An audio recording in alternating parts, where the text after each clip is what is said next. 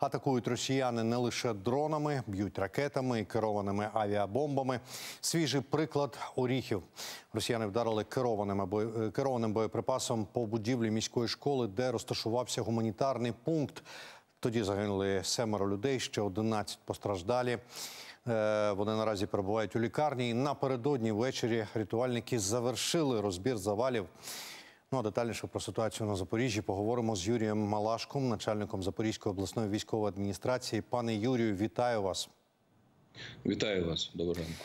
Доброго ранку. Як минула ніч в області? Чи зачепила область нічна повітряна тривога? І наскільки я бачив, щойно закінчилася в Києві, знову почалася в Запоріжжі, якщо я не помиляюся. Так, ну ніч наша була більш-менш спокійною, але все одно ворог нам завдав 65 ударів по нашій території, по 12 прифронтовим населеним пунктам нашої Запорізької області. Авіадар був знову ж по місту Оріхову, і 61 е, артилерійський удар був також по містам, як і Оріхову, і Гуляйполю. На щастя, у нас людей не зачепило, всі живі та здорові. Ви кажете про артилерійські удари. А яку зброю застосовує ворог найчастіше? Найчастіше це 120 міни, це 152 міни та артилерійські саме снаряди. Е, ну, якщо говорити про е, шахеди, то, наприклад, він на нашій території менше з- їх використовує. Здебільшого, це ж це ж таки артилерія. Угу. Ну так, шахеди вони а, надсилають далі трохи. Да? Скажіть, будь ласка, я готував це питання про ситуацію в Оріховому внаслідок удару, який завдала Росія. Ми знаємо, і я про це сказав підводці, що вже, вже пошуково-рятувальні роботи завершені. Чи можете ви підбити ну, такий своєрідний підсумок? Скільки в нас жертв і скільки постраждалих, і як вони почуваються, якщо можна? Ну е, так, ви праві. Е, У нас е, рятувально-пошукові роботи на місці авіаудару вже закінчені. Ще під під завалів вчора було на вечір. Е, Дістали ми тіла трьох місцевих е, жителів. Це 50, е, 56 і 64 роки. Е, На загал, на загал на зараз у нас є сім вже ті, які загинули, і 11 е, ті, які знаходяться зараз у лікарнях. Ще двом було також надана медична допомога безпосередньо на місці. Від, від, від госпіталізації він вони відказалися. Але е, знаєте. Ворог підступний, він б'є саме по цивільним об'єктам. На сьогодні у нас вже за добу майже 30 об'єктів цивільних саме об'єктів знову ж були обстріляні. Ну тобто, це не якийсь там вистріл на осліп. Вони а, свідомо б'ють по цивільних об'єктах. А скажіть, будь ласка, а чи є на вашу думку в них така, ну, типу, ціль, мета порушити розподіл, оцю систему розподілу гуманітарної допомоги? Ну, вони е, завжди, ви знаєте, здебільшого вони б'ють по цивільним об'єктам. Наприклад, як вчора ударили по е, гуманітарному штабу, і за годину-дві знову ж били туди ж. Але ж, слава Богу, не поцілили. Е, я думаю, що ці гуманіт... да, ми ж надаємо гуманітарну допомогу в прифронтові місця постійно, кожну, майже кожного дня, і надаємо ту допомогу, яку люди людям потребують нагал прямо зараз. Я думаю, що це не просто так було. Ну, терористи є терористи, так. Скажіть, будь ласка, е, ну, якщо зможете, звісно, напередодні, здається, в ефірі е, в коментарі одному з каналів депутат Запорізької районної ради Антон Жук він заявив, що на деокупованих територіях Запорізької області українські вояки почали знаходити ворожі катівні у підвалах. Він е, сказав, а, але деталі не повідомив. А чи ви знаєте якісь деталі про це? Ну я можу сказати, що ці ворожі катівні вони є майже в кожному населеному пункті, особливо там, де є невеликий спротив або спротив, дійсно хороший спротив наших українських, не тільки партизан, а майже цивільних осіб. Вони створюють такі катівні е, в підвалах, будь-де.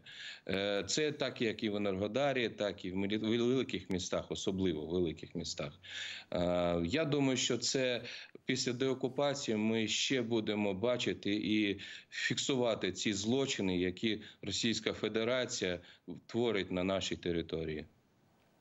Безумовно, так. Останнім часом рідко чуємо про спеціальний трибунал, але це не означає, що процес зупинився. Ми просто не так часто про нього згадуємо останнім разом.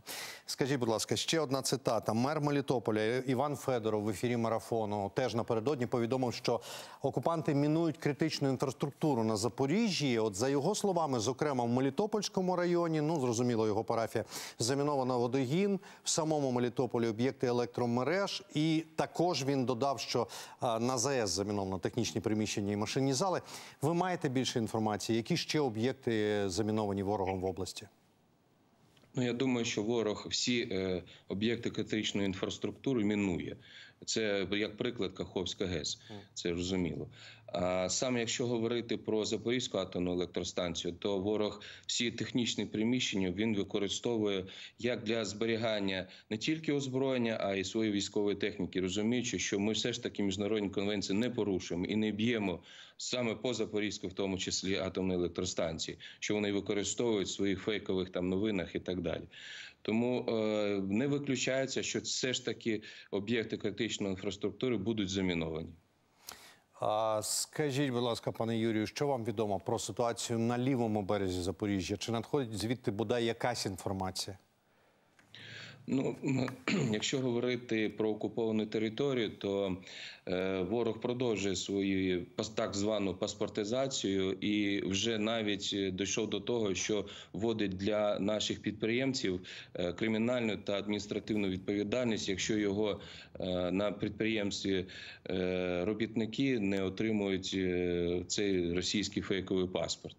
І не тільки як я вже колись казав, що навіть є такі випадки, коли е, швидка допомога не приїжджає до пацієнта та або до чоловіка, який заболів, на за того, що в нього нема російського паспорту. Ну і постійно е, тиск, тиск з боку окупантів на наших громадян щодо того, що що зараз от українські війська прийдуть, вам буде погано, ну і так далі. Тобто, все роблять для того, щоб е, посилити чи підняти рівень напруги перед нашою деокупацією. Пане Юрію, маю ще одне питання. Е, Справа в тім, що ви абсолютно точно знаєте, що кампанія пліч-опліч оголошена в Україні, і суть в тому, що одні регіони допомагають іншим. Чи зачепила в хорошому сенсі програма громади Запоріжжя?